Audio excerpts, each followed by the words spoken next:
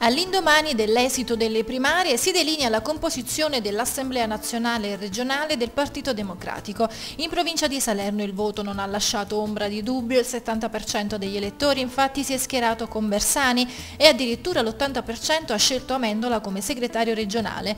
La provincia di Salerno era chiamata ad eleggere 17 delegati all'Assemblea nazionale e 51 alla regione e così nel collegio Agropoli, quello che comprende i territori del Cilento e Vallo di Diano, riescono ad entrare in Assemblea nazionale nazionale Franco Alfieri e Antonio Valiante e con i resti potrebbero entrare Rosa Campiglia e Antonio Calandriello. All'Assemblea regionale per il Collegio Agropoli si affermano Angelo Vassallo, Mirella Mazzali, Giovanni Caggiano, Giovanna Balbi, Carmine Laurito, Nicola Parisi, Angela D'Alto, Donato Pica, Lucia Salvato e Daniele Caroccia.